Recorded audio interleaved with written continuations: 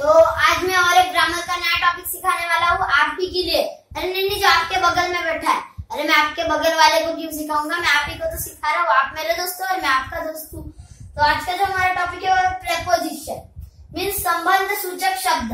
संज्ञा और सर्वनाम के बीच में जो संबंध प्रकट करते हैं, उन्हें प्रेपोजिशन वर्ड कहते हैं। तो एक बार मैं आपको संज्ञा और सर्वनाम का मीनिंग बता देता हूँ। वैसे तो बहुत लोगों को संज्ञा और सर्वनाम का मीनिंग पता होता है, लेकिन जिन लोगों को अभी तक वो समझ नहीं आया है, उनके लिए मैं सिखा रहा हूँ। तो अब हम एक नाम ले लेते हैं।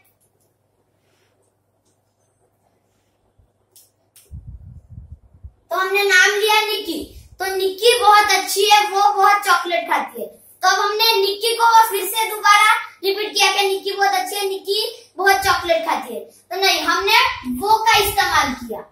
तो वो क्या हुआ? सर्वनाम। तो हम निक्की के बदले जो शब्द को यूज़ कर रहे हैं, उसे सर्वनाम कहते हैं, और वो क्या है? वो है। और अगर हम ऐसा बोलेंगे कि निक्की बहुत अच्छी है, निक्की बहुत लंबी है, निक्की के बाल बहुत बड़े तो अगर हम बार बार निक्की बोलेंगे तो निक्की को ही गुस्सा आ जाएगा। इसलिए हम सर्वनाम शब्द का यूज़ करते हैं। तो अब निक्की क्या हुआ?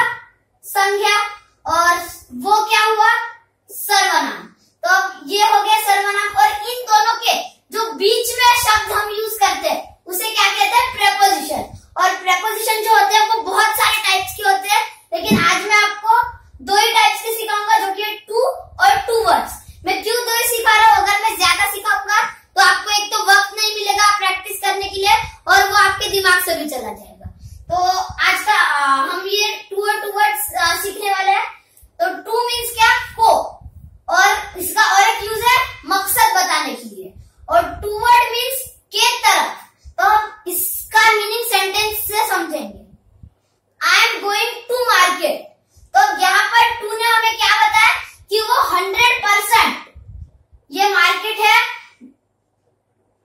ये मार्केट है और वो हंड्रेड परसेंट वही जा रहा है वो उसके आसपास नहीं जाएगा और I am going towards market means अब ये मार्केट हुआ तो मार्केट के पास घर होगा उसका, या फिर नदी होगी, उसके दोस्त का घर होगा, वो कहीं भी जाए, वो हंड्रेड परसेंट मार्केट ही नहीं जाएगा, वो मार्केट के आजू बाजू जाएगा, वो कहीं भी जा सकता है और अब हम मकसद बताने के लिए एक सेंटेंस देख लेते हैं शी वॉन्ट्स टू मीट तो यहाँ पर टू ने हमें क्या बताया उसका मकसद मीन्स पर्पस क्या है उसका वो किसी को मिलना मीट करना तो यहाँ पर टू हमें पर्पस बता रहा है she came to my college तो वो कहा गई टू यहाँ पर क्या बता रहा है वो कॉलेज को जा रहा है मीन्स पक्का वो कॉलेज ही जा रहा है और उसका मकसद क्या है टू मीट माई प्रिंसिपल तो यहाँ पर टू हमें क्या बता रहा है उसका पर्पस बता रहा है कि वो क्यों जा रहा है कॉलेज उसके प्रिंसिपल को मिलने तो अगर आपको ये वीडियो पसंद आए तो इसे लाइक करना शेयर करना सब्सक्राइब करना